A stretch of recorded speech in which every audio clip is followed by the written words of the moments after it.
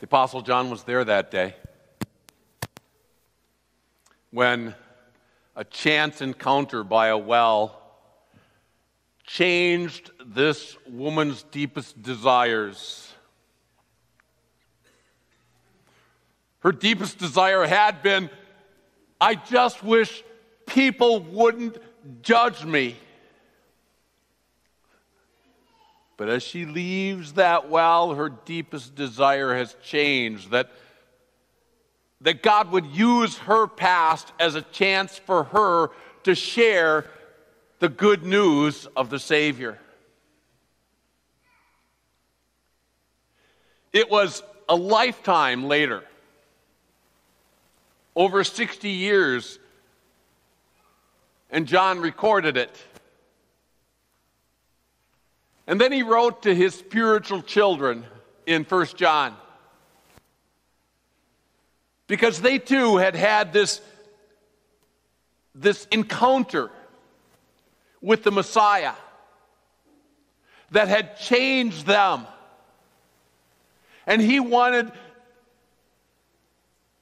to help them hold on to that deep relationship with the Savior. This is what he writes.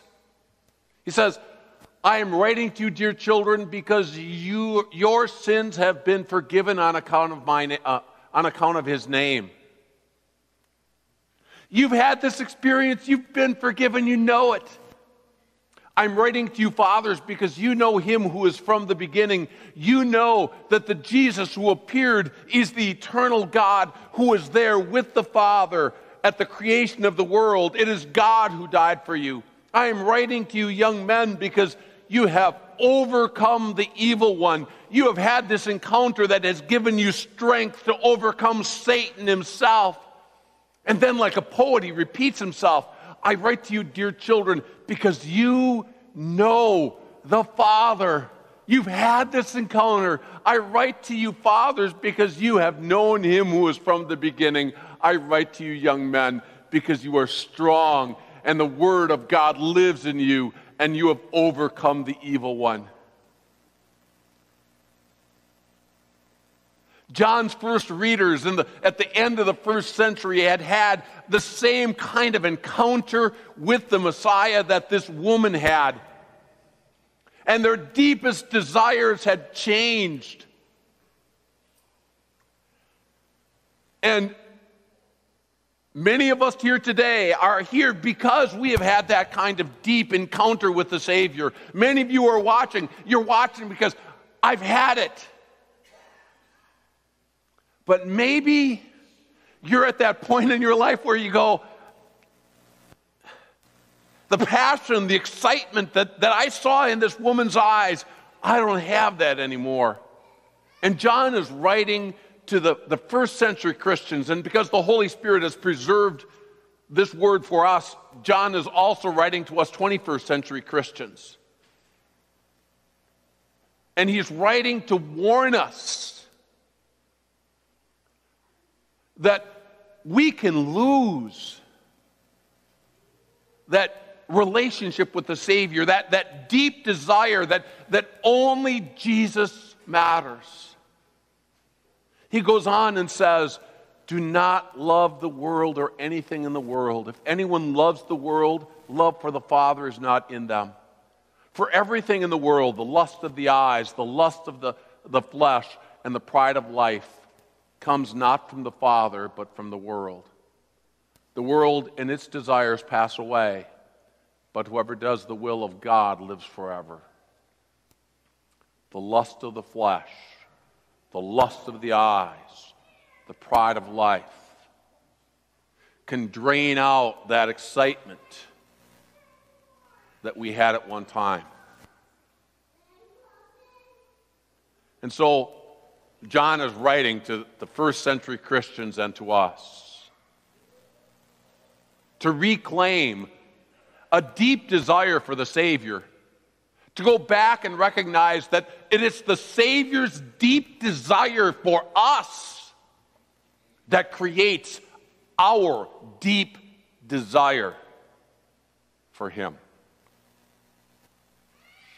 Now, I'd like to change pictures from uh, the, the, the first century well outside of a Samaritan village to a 21st century city. Do you recognize that building? It's the Burj Khalifa. It's the tallest building in the world. Now, I'm going to ask you three questions about the Burj Khalifa just to kind of acquaint you with this building. First of all, how tall is the Burj Khalifa? It's kind of like going to the baseball game and, you know, who of you says A? Who of you says B? Who of you says C? And the answer is C. 2,022 feet tall, more than half a mile up into the air. Amazing. Second question true or false? The Burj Khalifa was built on top of the sand on a raft of concrete 12 feet thick. True or false?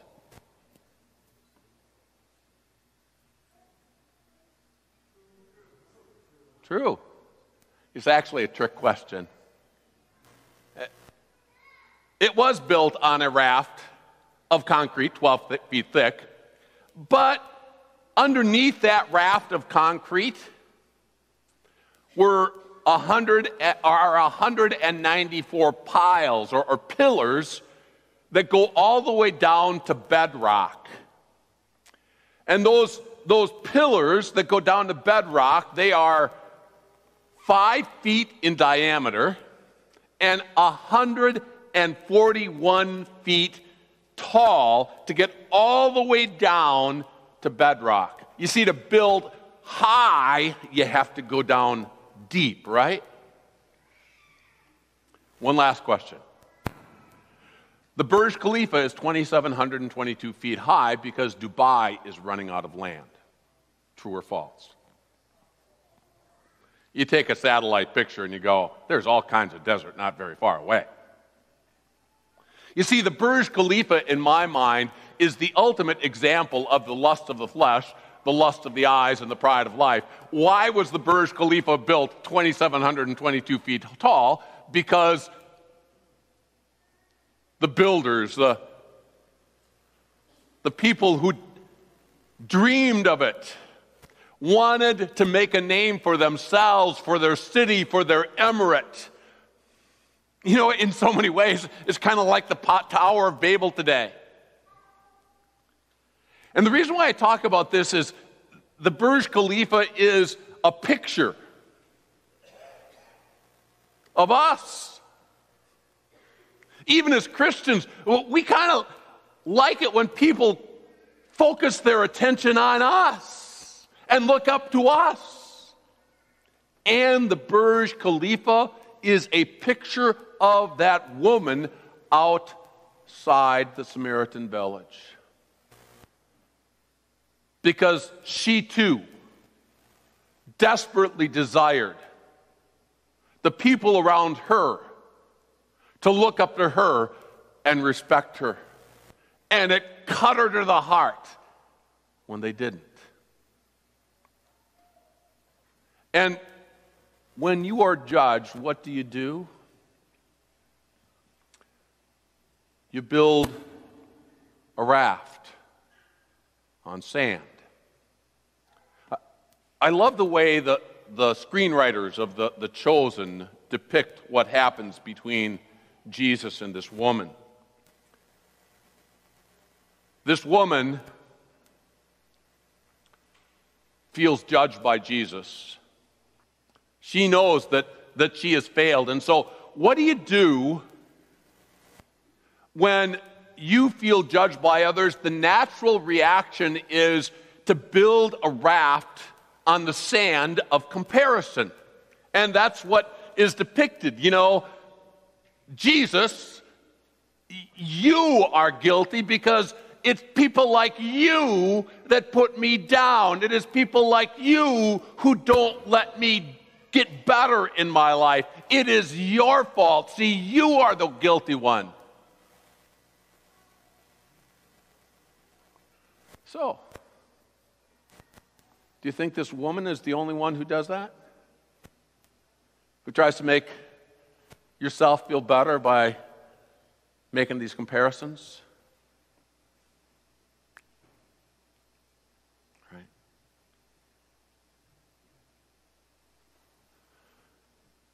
So Jesus does something surprising. Jesus hurts this woman. Did you see it? Go. Call your husband. Oh, yeah, you're right. You don't have a husband, you've had five, and now this guy isn't. Oh, you could see the pain in her eyes. Why is it that Jesus is, is hurting this woman? Because he's pulling out the sand underneath the raft, right?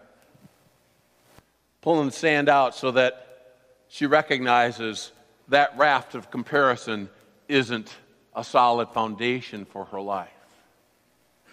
It hurts, but he has to dig down deep for her to have an encounter with the Messiah that will go deep into her heart and be a life changing encounter.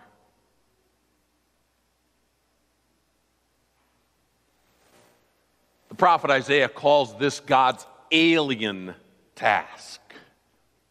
And he has to do it for us too. You know, when I was younger and struggling to read through the Old Testament, I, kind of looked at the Old Testament people like, man, what is wrong with these people? You know? God fed them with manna for 40, 40 years. We just heard that, right? Feet didn't swell, right? 40 years. Come on, God gave you water from the rock. How could you not hold on to and trust in God?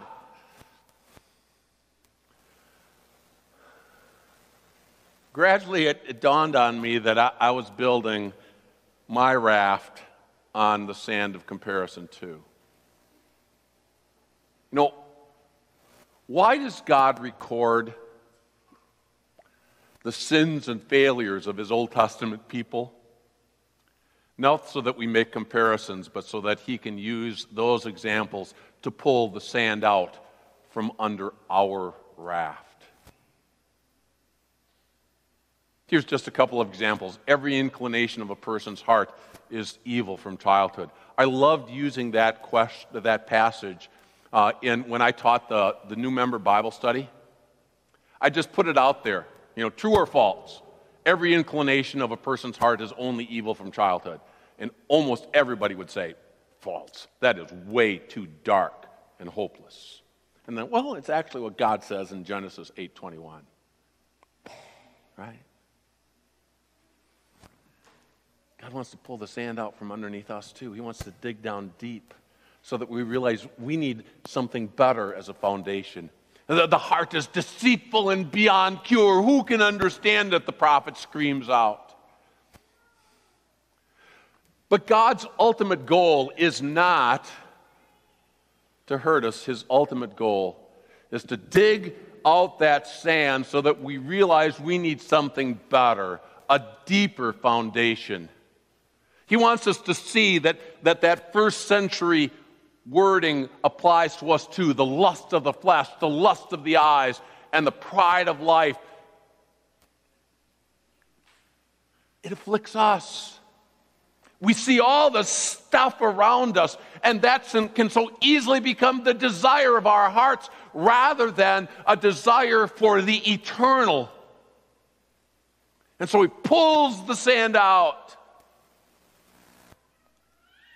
And then he reveals the bedrock deep down below.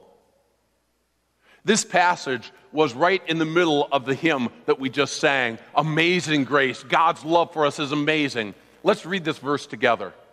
This is love, not that we loved God, but that He loved us and sent His Son as an atoning sacrifice for our sins. Love isn't about comparison, Love isn't about, I love God more than you, or you love God more than me. Love is about God's love for us, and, and He digs way down deep to the foundation, the bedrock, that the one who is the atoning sacrifice for us is the Son of God Himself. And that term, atoning sacrifice, it, it's meant to bring up all kinds of imagery from the Old Testament.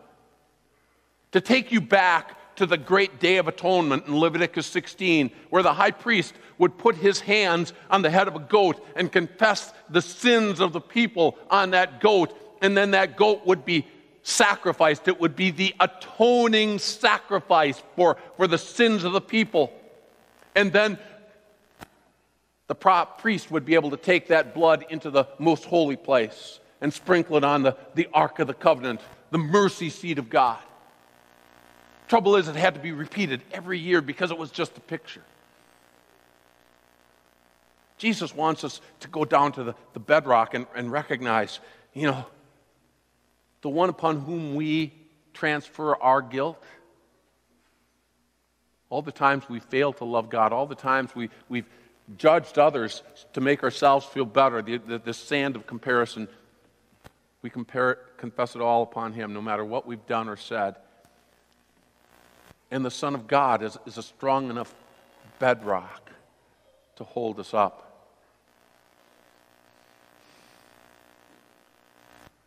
In John chapter 4, at the beginning of this section, he says, Dear friends, do not believe every spirit, but test the spirits. It's fascinating to, to, to read about the, the building of the Burj Khalifa, how, how much testing went into seeing to make sure that, that that bedrock was strong enough to support this incredible building. Test the spirits. test the Messiah just like this woman did, to know that he is the, the strong bedrock. He goes on, do not believe every spirit, but test the spirits to see whether they are from God. Because many false prophets have gone out into the world. This is how you can recognize the Spirit of God.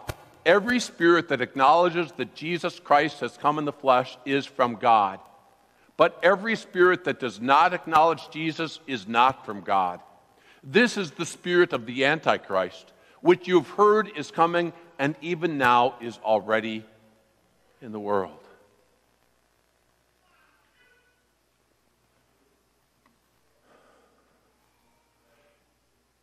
In John's day,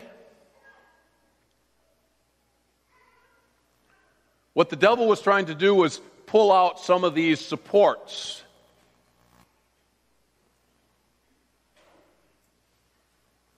The false doctrine of John's day was that Jesus was a man, that the Christ, a, a, a, a godlike being or part of God, comes into Jesus, but then the Christ leaves Jesus before he suffers and dies. So that it's, it's not God who dies for you and John's gospel, John's letters, the revelation that Jesus received from John, you read through all of those over and over again. John is making clear that the one who died for us is that bedrock, God Himself, the one who was with the Father from the beginning. The eternal God died for you. You can be certain. Today, oh, the devil uses lots of other ways to, to try to pull out some of those pillars. And it's hard work to test the spirits. You know, I look at that and go, you know, did you know that last night one of our members, Linda, came out and she showed me a picture on her, on her phone that she had just been to the top of the Burj Khalifa.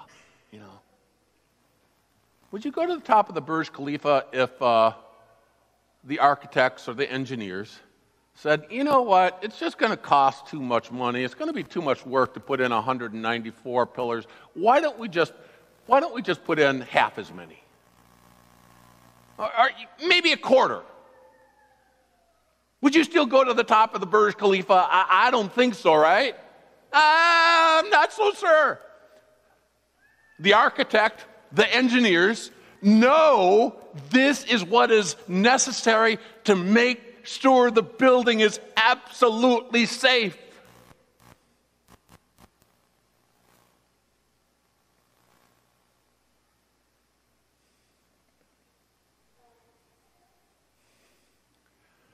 Our Savior is the architect.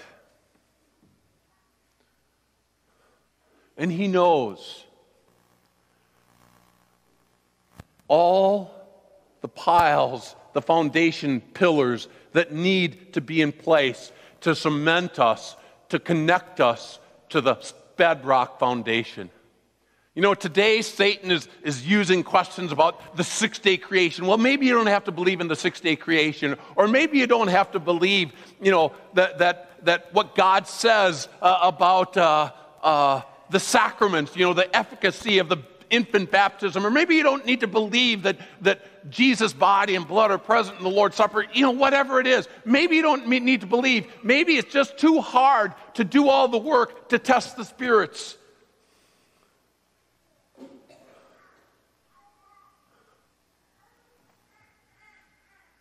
Trust the architect who has designed the building of God's church. There is no doctrine of Scripture that is, ah, oh, we can take it or leave it.